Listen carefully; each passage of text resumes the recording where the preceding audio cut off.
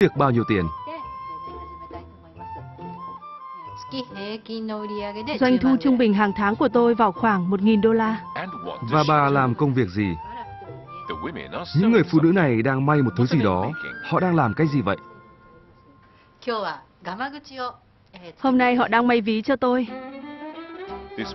Người phụ nữ này từng là một giáo viên tiểu học. Bà luôn có đam mê với đồ thủ công. Vì vậy, khi nghỉ hưu, bà quyết định mở các lớp học dạy may ví.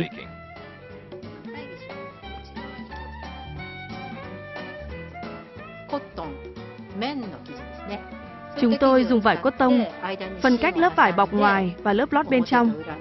Phía trên chúng tôi cho vào một khung kim loại. Một khung kim loại thường dùng làm ví, nhưng cô cũng dùng nó làm các món đồ khác nữa. Tôi có thể làm rất nhiều món đồ kích thước khác nhau bằng khung kim loại này. Không chỉ trực tiếp dạy học, bà còn mở các lớp dạy làm ví trực tuyến.